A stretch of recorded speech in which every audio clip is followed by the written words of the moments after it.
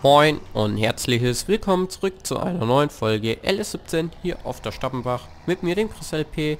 Jo, wir machen weiter hier. Ganz flott und schnell hier mit äh, unserer BGA. Das möchte ich wohl in diesem Part oder im nächsten Part äh, fertig bekommen. Ähm, ich habe den New Holland hier schon mal zum Dreschen geschickt äh, an den Raps. Und ja, wir werden mal schauen, dass wir hier noch irgendwie einen Schlepper mal kriegen, mit dem wir eben einen Anhänger dahin ziehen können. Ich weiß gar nicht, wo, äh, ja, ja genau, äh, wo unser anderer Anhänger ist.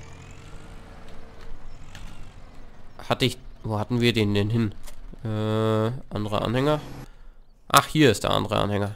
Okay, gut. Dann brauchen wir gar nicht den Case. Guck an, dann, dann können wir den einfach nehmen, würde ich sagen.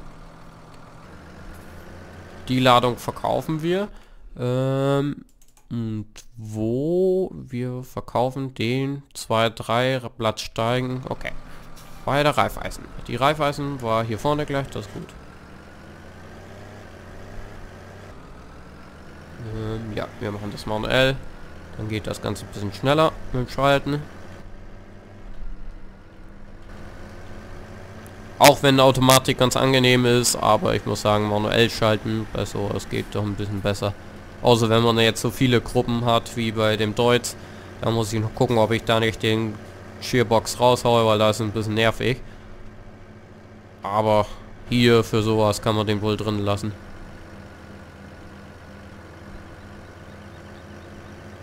Ja, der Lexion ist voll, okay, den müssen wir abtanken, das sehe ich gerade so.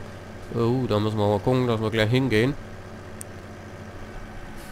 Während er hier am Verkaufen ist, können wir ja eben... Ähm so, ähm... Wo bist du? Hier bist du. Ah ja, da steht der Kollege, sehr schön.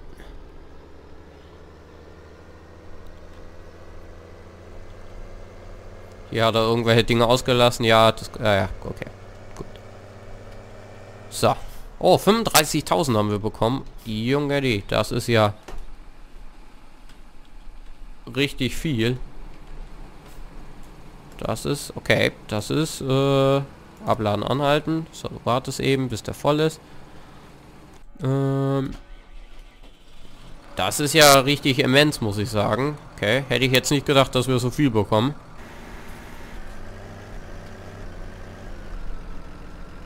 Aber gut, 55.000, das ist schon mal wieder so ein Wert, wo man mit arbeiten kann. Ähm, ich weiß zwar nicht, was wir jetzt mitmachen, ob wir sparen oder Geld ausgeben wieder für ein paar Felder. Ob wir sagen, wir warten noch bis zum 100.000, holen uns noch ein schickes Feld. Oder ob wir sagen, wir holen uns noch ein paar Schafe, dass wir da ein bisschen weiterkommen. Ich hätte schon fast gesagt, eher Schafe. Aber da holen wir uns dann dafür einen größeren Tieranhänger, weil der kleine, muss ich sagen, ah, ist ein bisschen klein können wir uns dann gleich was Vernünftiges holen, wo wir auch ein bisschen was reinkriegen. So, aber erstmal fahren wir zu dem hier. Haben wir denn, haben wir den Tieranhänger denn noch hier irgendwo stehen? Ähm, ja, den hier. Aber ah, da geht ein bisschen weniger rein. Den können wir zurückgeben. Der ist eh nur gemietet. Äh, den Bergmann, den brauchen wir noch. Den Schwader. Äh, brauchen wir eigentlich nicht mehr. Den können wir auch zurückgeben. Sonst holen wir ihn uns wieder. Ähm, wir wollten aber nach Tieren noch gucken. Hier haben wir einen LKW. Wie viel geht denn da rein? 14 Schafe. Das hört sich nach was Vernünftigem an. 14 Schafe, hier gehen 23 Schafe rein. Oh, okay. 23 Schafe. Okay. 14 Schafe. Und die billigere Lösung 3,6. Oh Gott, ne, der ist zu teuer und 2,8. 2,8 wäre der. Der würde ja passen, der würde ja reichen. Und da fahren wir dann ein paar Schafe noch, ein paar Schweintel und fertig. Ich würde sagen, wir machen das. Mieten. Wir geben gleich wieder Kohle aus, würde ich sagen. Äh, ist das Beste. Dafür holen wir aber den hier, den Kollegen. Den können wir dann noch tanken, irgendwo unterwegs.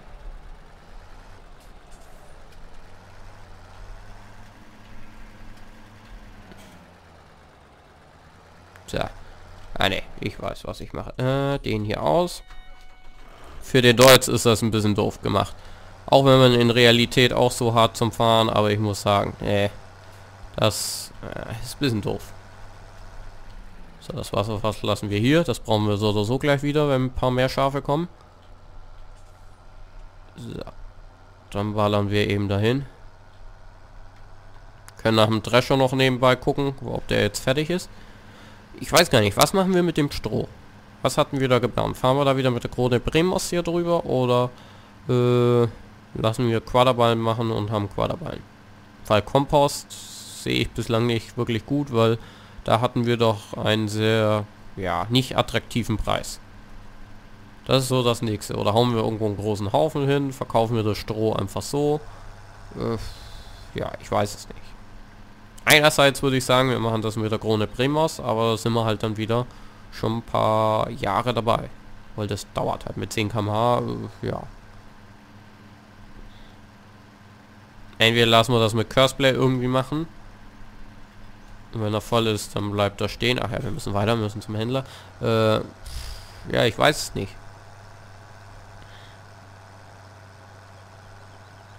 Das ist so die Überlegung jetzt, was wir mit dem ganzen Strom machen. Weil wir kriegen ja noch mehr. Wir haben ja noch andere Felder mit Stroh. Wir haben ja ein paar Gerstefelder auch noch. Äh, oder wir lassen das Stroh da oben liegen, grubbern das unter. Wir hätten dann gleich Chopped Stroh machen können eigentlich. Äh, und sagen dann, wir machen 120 und 119 mit Stroh.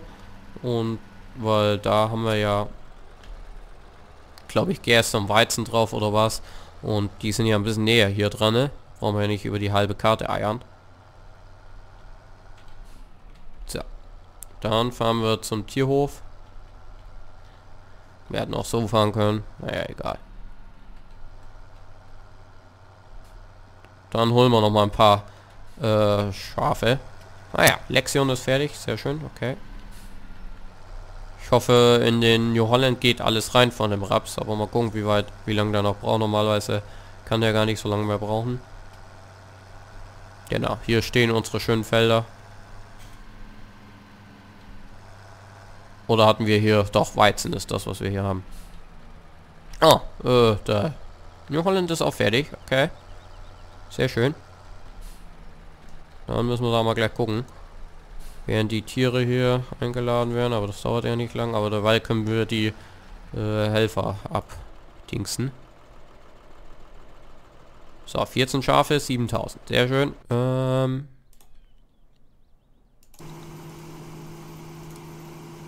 entlassen.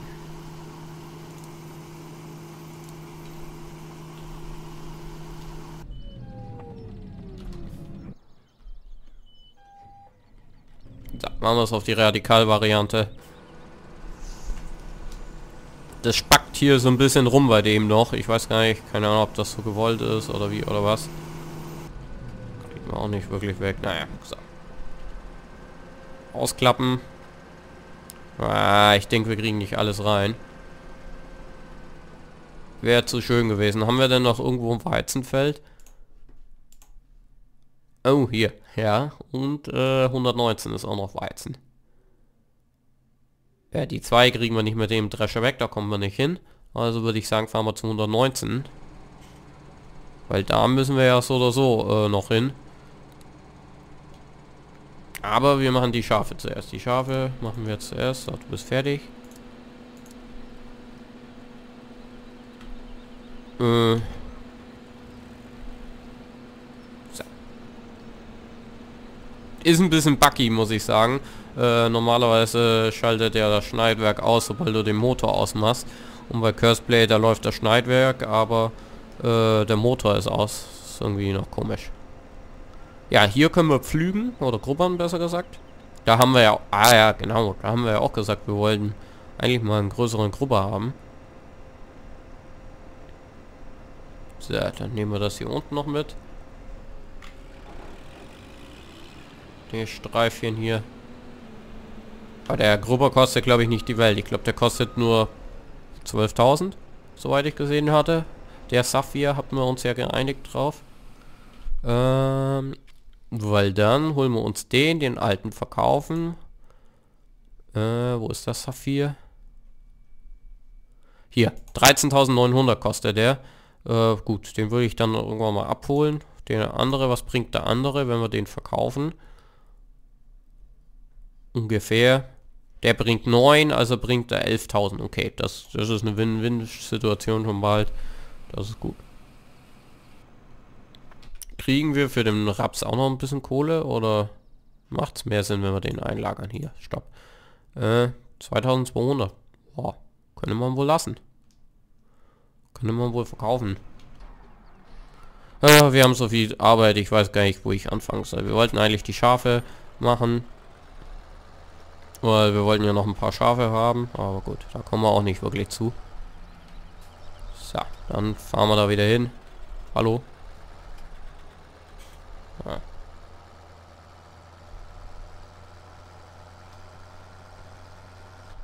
Ja. ich hätte gesagt, wir rüsten uns erstmal mit Tieren so ein bisschen aus und mit Fahrzeugen und Maschinen und dann äh, gehen wir wirklich wieder aufs Große und Ganze, sag ich mal. Vielleicht steigt der Kompostpreis ja noch mal ein bisschen an und wir können äh, ja mal ein bisschen mehr daraus machen.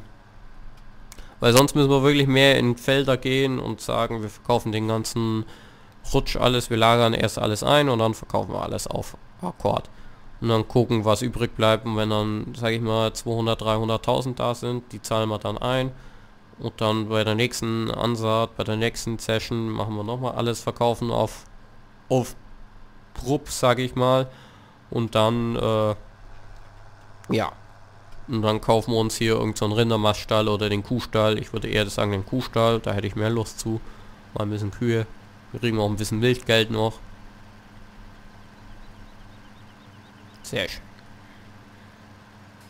Ja, werde ich auf jeden Fall offline ein bisschen aufräumen hier, das ganze Schlachtfeld, sag ich mal. Wir werden auf im nächsten äh, Part noch vielleicht ein paar Schweine uns holen. Vielleicht auch noch mal Schafe, ich weiß es nicht. Ich glaube, wir haben jetzt dann 54 Schafe. Das ist doch schon mal eine stattliche Menge. Können wir uns noch mal ein paar Schweine holen. Weil das wäre auch noch eine gute, gute Idee. So. Abladen. 53 Schafe haben wir jetzt. Guck an. Das ist doch schon mal etwas. Damit kann man arbeiten, das kann man wohl machen. Ja, die brauchen natürlich jetzt wieder Gras, Wasser. Da müssen wir dann nochmal gucken. Da müssen wir dann irgendwie den Case hierher schicken, den kleinen. Existiere Reproduktionsrate, Wolle ist in Produktion, aber dafür brauchen wir halt ein paar Schafe.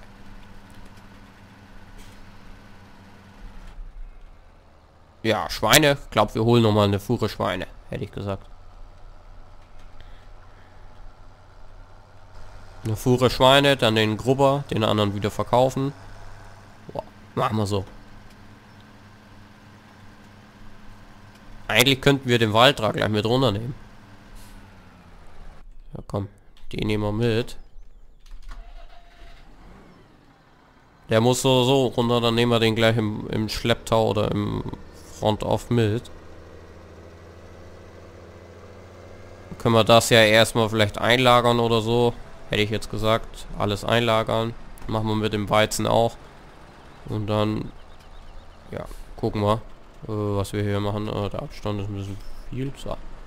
Und dann gucken wir einfach, was wir damit machen.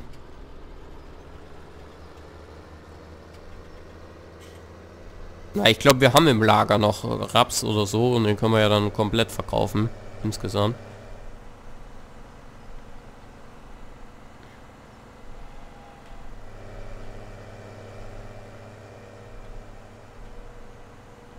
So, der wird mir wohl folgen, hoffe ich. Wir dürfen halt nicht vergessen, dass wir den tanken müssen. Den Waldram muss auch bald zurückgegeben werden. Also die Krone Bremos müssen wir jetzt noch einmal richtig ausnutzen und dann müssen wir das ganze Gespann so, so zurückgeben an den Händler. Denn, äh, ja, der Händler hat sich ja schon gemeldet. Ach Gott, ne, ja, okay. Fahr mir drauf, Kollege.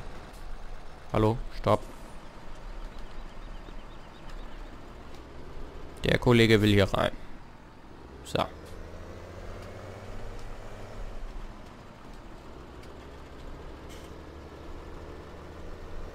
Ich muss sagen, der Hof ist schon fast klein, deswegen also wir müssen mal gucken, ob wir uns den... Ah, ja, natürlich. Alles steht im Weg. Ja, perfekt. Äh, wir müssen irgendwie den mittleren Hof notfalls uns holen, denn... Äh, wir, wir, wir, wir haben so ein kleines plötzliches Problem bald. Weil ich weiß gar nicht, wo überall, wo ich was hinstellen soll. Wie viel haben wir jetzt hier drinnen? 13.000. 21.000 Raps, Gerste, Sojabohnen. Oh ja, guck an. Das Lager ist eigentlich nicht schlecht gefüllt, muss man sagen. Also so verkehrt ist das ja wohl nicht. Wenn wir da mal alles auf Akkord verkaufen, gleich das alles kaufen, was wir brauchen und dann alles verkaufen, dann zahlen wir irgendwo was an. Entweder an den Kuhstall oder an den mittleren Hof, der beim Sägewerk da hinten raus ist. So.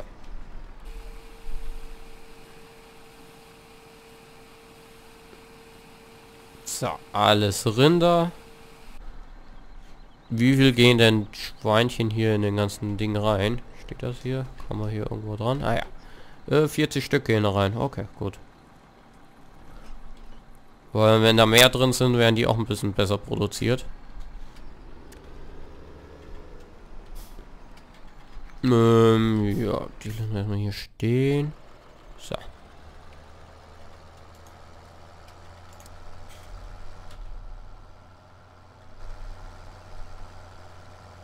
Aber ich würde sagen, das war's wieder von dieser Folge. LS17 hier auf der Stammbach. Und ich würde sagen, bis dahin.